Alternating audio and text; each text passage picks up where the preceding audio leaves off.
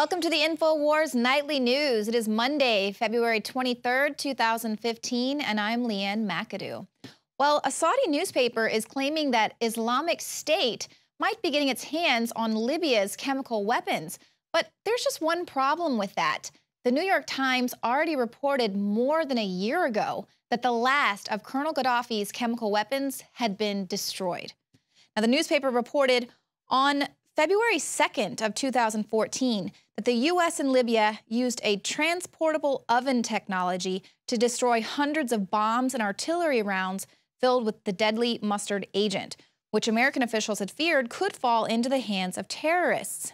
Now, of course, now that the U.S. trained and Gulf Emirate funded Islamic State has threatened to take over Libya in the wake of U.S.'s invasion of the North African nation, the London based Arabic newspaper Asharq al Awsat says that the chemical weapons remain in Libya and they are in danger of falling into the hands of the Islamic State.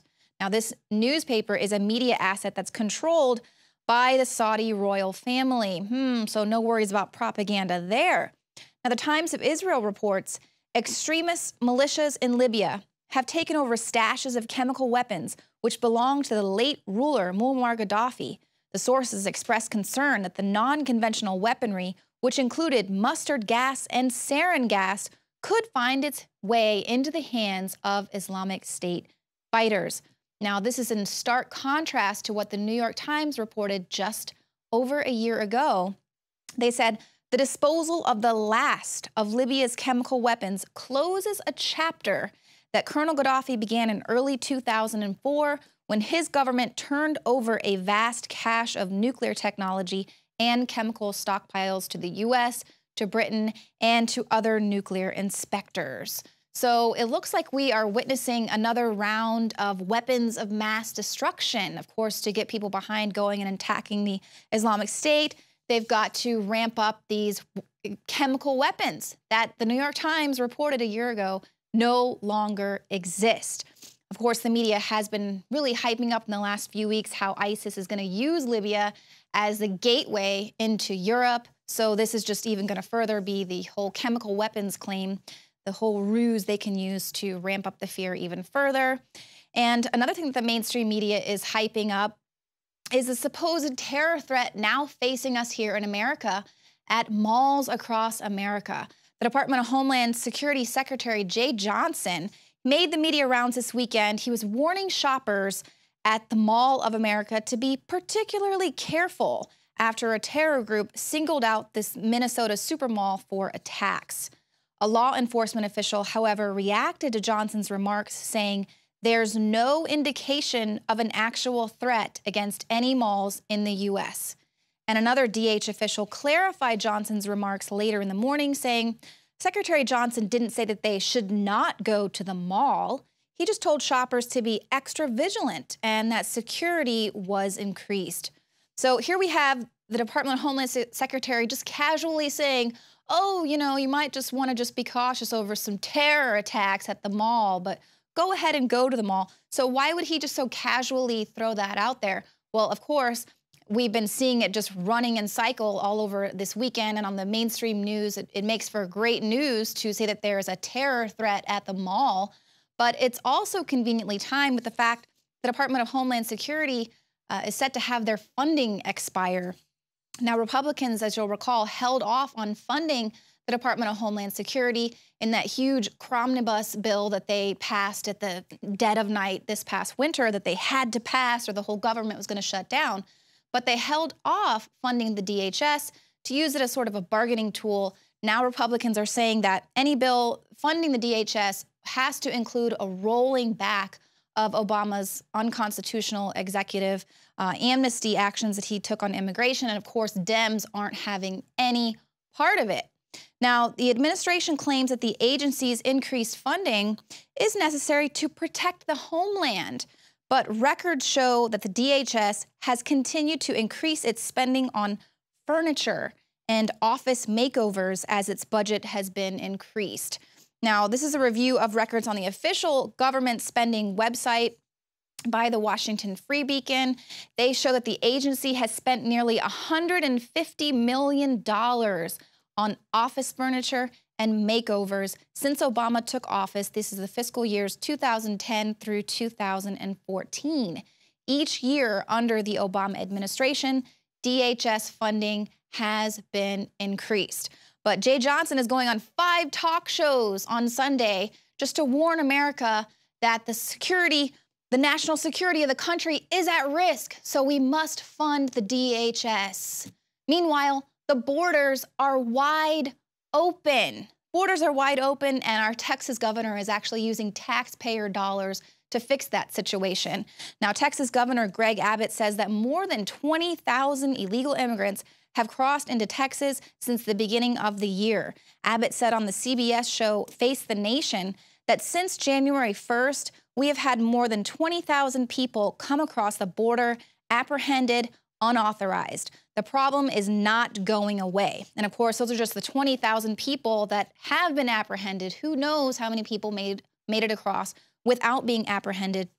Abbott said he's going to up the ante, adding more than 500 more uh, DPS officers, more Texas Rangers, more technology, but he's going to be using Texas taxpayer dollars to secure the border and do the job that the federal government isn't doing but must do.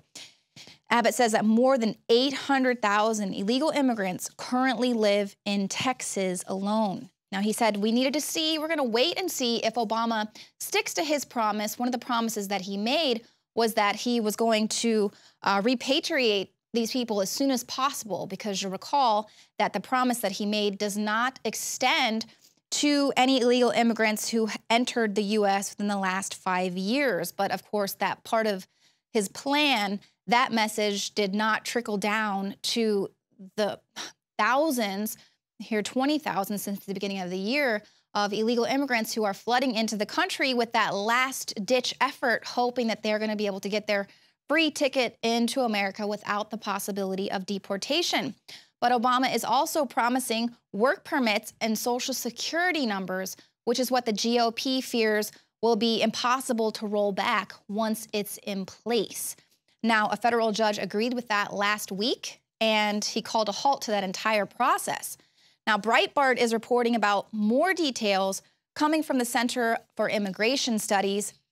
They are calling it a shadow work permit system in which the Obama administration has issued millions of work permits beyond the levels mandated by Congress.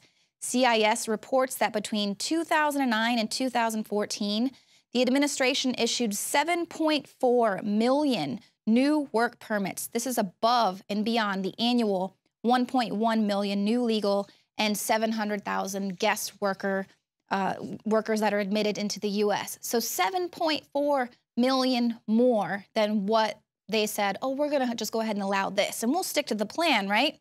Well, they say, the fastest growing category of these issuances were were to illegal aliens, tourists, students, and family members of temporary workers. The largest categories of work permit issuances had an approval rate of 90% or greater. So 90% of people that applied for these work permits are coming into the country, being granted access. And CIS's director of policy studies writes in her report that this huge number of work permits is going to inevitably reduce opportunities for U.S. workers, damage the integrity of the immigration system, and it encourages illegal immigration, which is, of course, it's of course we know that, but the administration wants to deny that that is going to be the effect of, of doing this. Now, Austin is just one of dozens of cities that are rolling out the welcoming mat, hosting welcoming committees for illegals. This is to help illegal aliens adjust to life here in the United States. The cities are partnering with the group called Welcoming America. It helps illegals find employment and housing while helping people who were born in this country understand and appreciate their new neighbors. Welcoming America touts itself as grassroots, but is in fact supported by President Obama, the United Nations, the Clinton Global Initiative, the Carnegie Foundation, and the German Marshall Fund.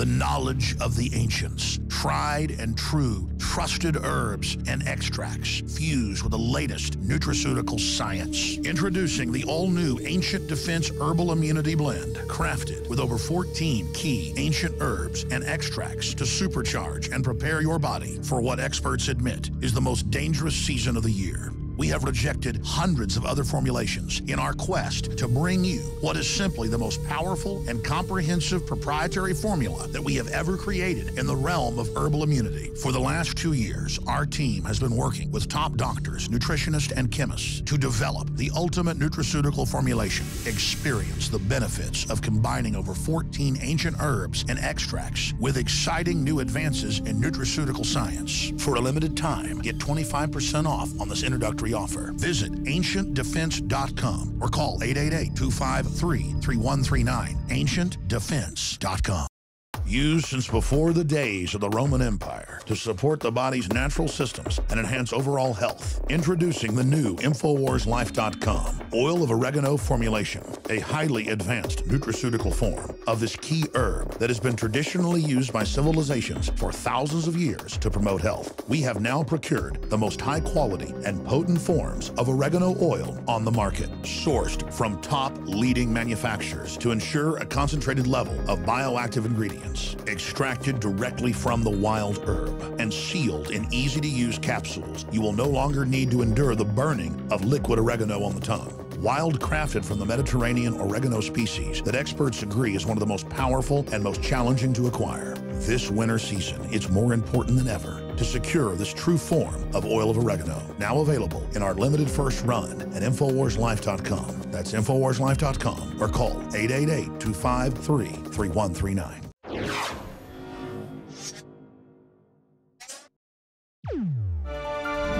Well, if you've been paying attention to the mainstream media today, you'll notice that they have been reporting on the Stingray cell phone towers. Of course, that's a sophisticated surveillance technology that police across the nation are using to sweep up your cell phone data.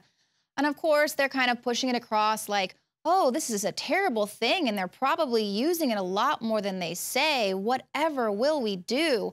But of course, they're not reporting on it so that you can actually stop this from happening and do something about it. They're kind of putting it out there so that now we know it's a de facto surveillance system that's in place. The Washington Post is kind of taking the angle that the secrecy surrounding this police surveillance equipment is undoing a lot of cases. This particular case that they report uh, comes out of Tallahassee, Florida. Uh, a young man and his friend robbed a small time pot dealer using BB guns, and under Florida law, that was robbery with a deadly weapon, would have been a sentence of at least four years in prison. But before his trial, his defense team found out that they had used this secret surveillance technology. And of course, as we've reported, because we told you about this last year, us conspiracy theorists here at InfoWars, uh, but we reported that rather than put it out there and let people know that this surveillance technology was being used, police were just doing a plea deal or else they were dropping the case altogether because they would have non disclosure agreements with the Stingray company so that they would not have to let taxpayers know how much money they were spending on these programs or how they were utilizing these programs. But now we're seeing that it's causing a lot of people to get their cases thrown out because they didn't get a warrant to sweep up all of this cell phone data. So, of course, that's an issue. And then you have other uh, states like uh, California and Silicon Valley, the police there are they're saying we really want to be able to use this stingray technology. We really want these things to catch the bad guys. So now they have to put it out there. And now they have to, you know, the cat's out of the bag. People know that these cell phone towers are being used, they are sweeping up your data, but they're not going to roll it back. They're not going to stop violating your civil liberties.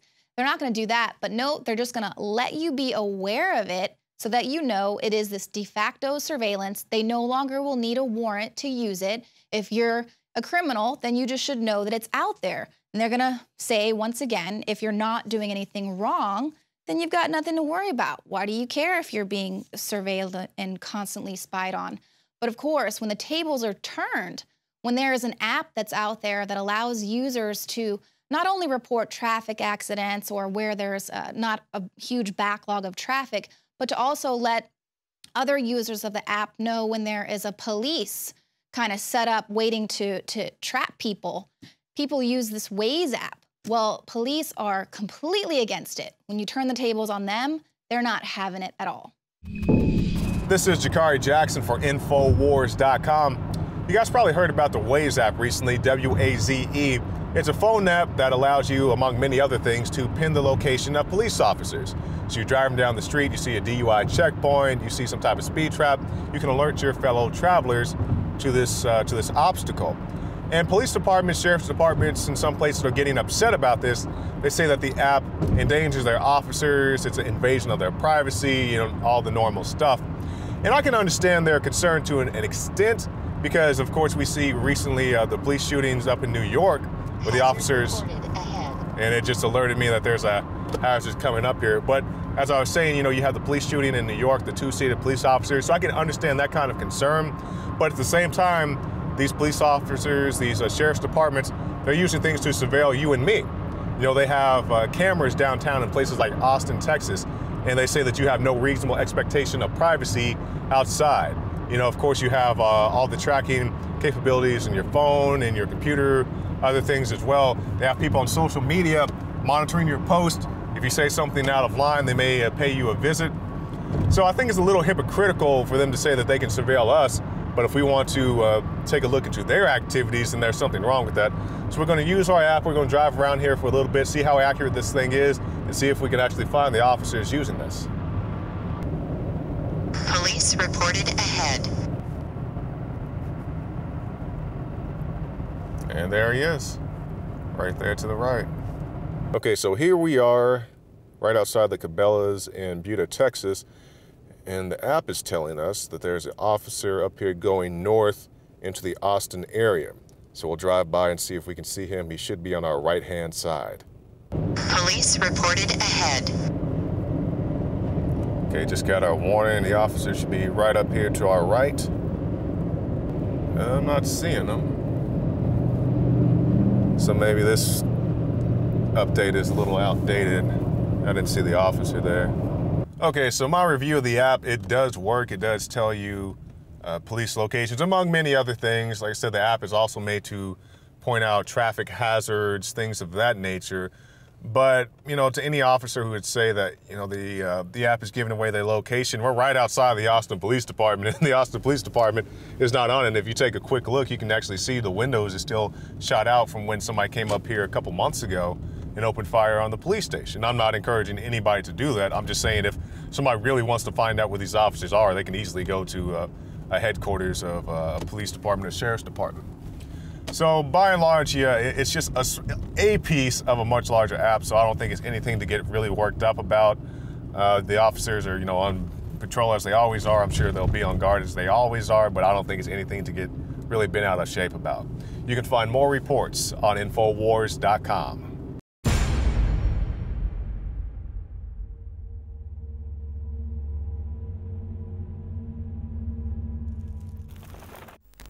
For all of recorded history, civilizations around the world praised the health benefits of silver. At InfoWars Life, our mission is to bring you the highest quality, purest, cleanest, effective colloidal silver on the market today for the lowest price available.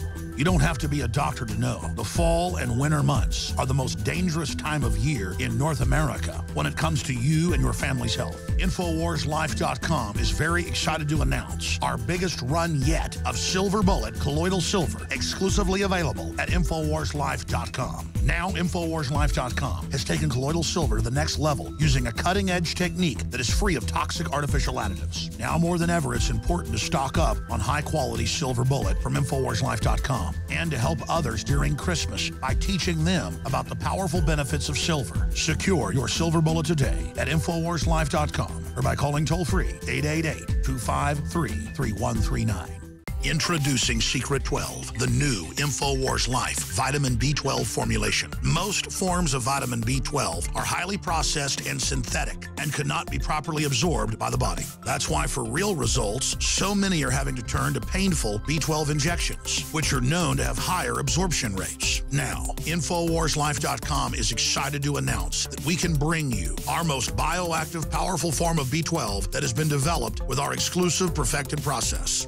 Secret 12 is a binary of nutramedical grade, bioavailable coenzyme forms of B12, methylcobalamin, the same kind used in B12 injections, and adenosylcobalamin. Secret 12 is simply taken by mouth, right on the tongue, and then swallowed. No needles, no injections. Don't take my word for it. Try it for yourself. Discover the secret. Secret 12. Secure your revolutionary Secret 12 formula right now at InfoWarsLife.com or call 888 253 3139. And don't tell me that I'm a weirdo because I'm upset about this. I'm just sick of dishonorable trash. Supreme Cobra Commander! You're failures! You think I'd sell my family out like you, dirtbag? This is Jakari Jackson for Infowars.com. We're being joined today by Cody Wilson. You guys know him. He's bringing us this breaking news update talking about his Ghost Gunner. Now, you guys recall Cody, he's been at the uh, center of the, I don't know if you want to call it the controversy of the printable gun phenomenon. He's produced many firearms, many uh, parts of firearms to go along with this. Also, he's been known for the dark wallets. You guys know him from that, the people who keep up with the Bitcoins. But today he's going to talk to us about the Ghost Gunner uh, processing and when he tries to ship it out, he's now having some uh, pushback from FedEx when he wants to put out his product. So, Cody, can you start from the beginning and tell us basically uh, how you got to the process of now making the Ghost Gunner and what problems you're having when you're trying to ship it out? Yeah, the, the Ghost Gunner was.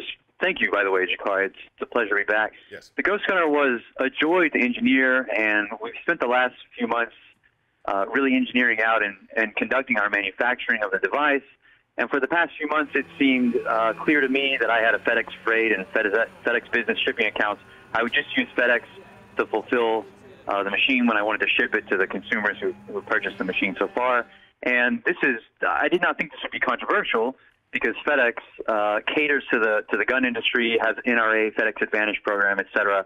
Uh, and anyway, when I finally solicited them for the ultimate rates to do business to consumer for my business, they began to demur and they began to make excuses. And then ultimately last week, they said, despite my submitting all the legal work I've done, all the clear memorandum, and stating how the law was obvious, that this was just a tool that people can make to make their guns, which is constitutionally protected activity, they said because people can use my machine to make firearms, they would not ship my machine. They would not offer me any rate at all. They do not want my business.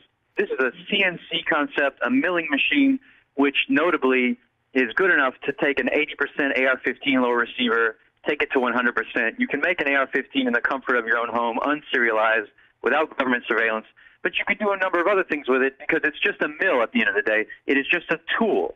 It is just a tool that you can use to make what you want Defense Distributed sells it and, and gives software that you can use to make gun parts with it.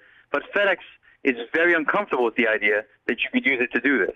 Have you ever had any other type of pushback? Because I know you've made uh, actual, you know, weapons. Uh, I guess you don't ship those around, but have you ever encountered this type of opposition before? Well, that's a great that's a great question with the FedEx example. I have a federal firearms license. FedEx will ship guns for me, right? And have done that before. FedEx will ship guns all over the country. Are they trying to tell me that this what I'm doing here is now more dangerous than a gun? Because theoretically, that seems to be what's happening. They're more uncomfortable with the idea, the abstract idea that anyone can have a gun, or that Eric Holder has them on a short enough leash. Uh, that it, this is more dangerous to them than hazardous materials and guns, which are things that they will ship. On an AR-15 rifle, the lower receiver is, is the part that holds the trigger group and to which you can insert a magazine, uh, which feeds the rest of the gun. But also legally, it's important because it's the regulated component, the serialized component traditionally of these guns in commerce. And so my my assertion here, my claim, I, I think, is that though FedEx is trying to hide behind color of law, really they're they're more interested in the political implications of, the, of my device than its legality. They don't like the idea. They are uncomfortable with the idea that people could have such easy access to guns and will perform by extension what Eric Holder and the administration cannot do, uh, which is I, I this is why I believe Infowars audience might be interested in this where Eric Holder has been unable to succeed, FedEx is comfortable you know, rounding out the situation. That's right, because I think what you're mentioning here, Cody, is Operation Choke Point. Uh, they're targeting various uh, gun owners, uh, you know, banks, things such such as that, trying to stop people from being able to uh, process uh, whether it's firearms, ammunition, things to that nature. So you're saying that's that's what you feel that you're experiencing at this moment? I, I think it is it is easy to paint that picture now, and I'll tell you, I, I didn't really lean on this when it happened to me earlier, but my bank, uh, my banking network, my my credit card processing network back in November dropped me.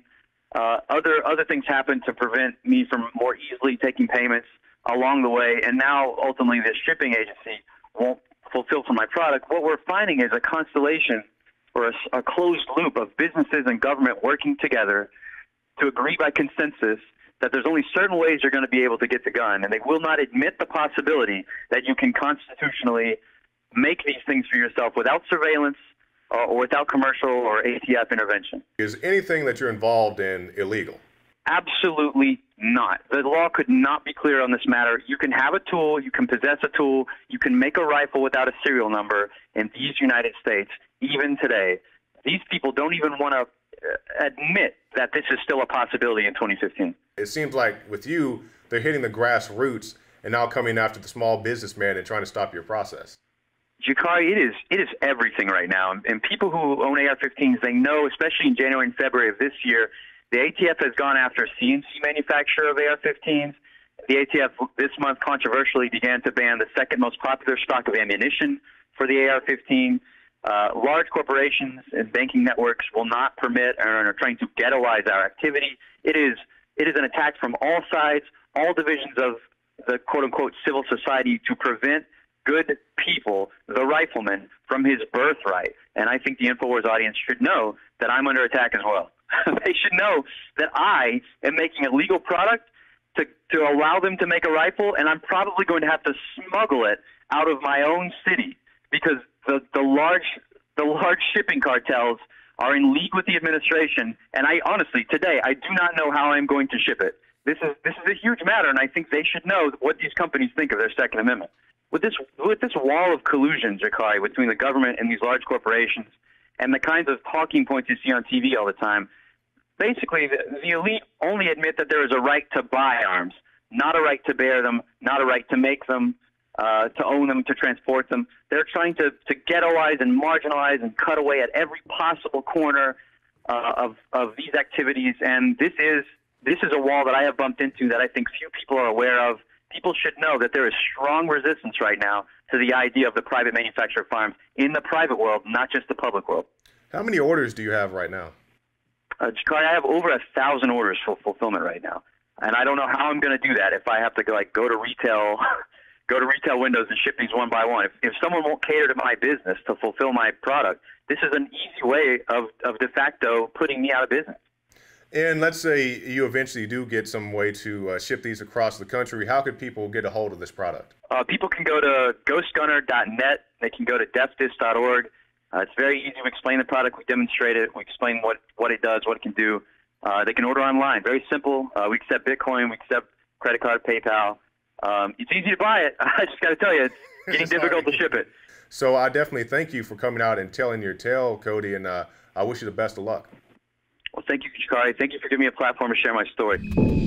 That's it for the show tonight. If you're watching us on YouTube, hit the subscribe button. And you can also become a member of prisonplanet.tv. Your subscription allows you to share your username and password with up to 20 people at the same time. And of course, you're going to get instant access to 18 years worth of content that you will not find on YouTube. Thanks so much for watching the show tonight, and we'll see you here tomorrow at 7 p.m. Central.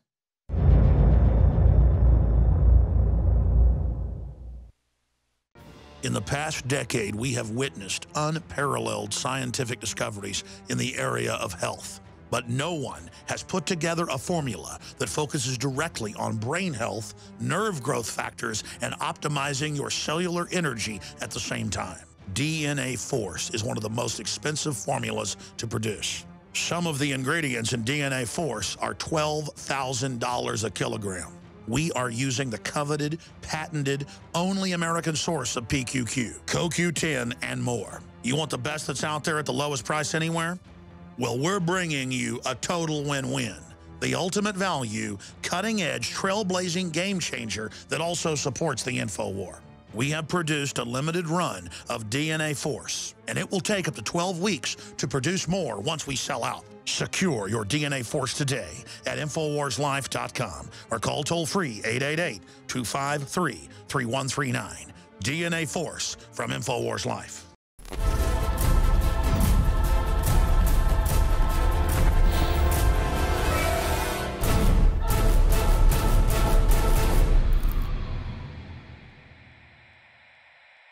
Energy dependency is also always a big thing. Look at wars. How do they fight wars? One of the major things they do is cut off the energy in whatever form it is to the particular country you're going to war with. We did it with the Japanese in World War II. We embargoed, they couldn't get any oil. We would have been even more uh, successful against the Germans in World War II, except the Germans had already figured out how to create synthetic oil. And by the way, in the German synthetic oil, there was no uh, uh, fossil fuel used. So I question whether oil is actually a fossil fuel. I don't believe that it is.